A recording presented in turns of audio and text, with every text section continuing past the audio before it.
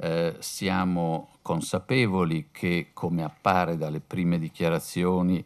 traspare una notevole delusione riguardo al livello dei pagamenti, pagamenti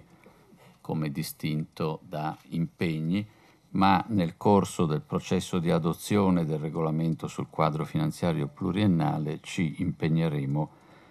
per facilitare la ricerca di soluzioni adeguate.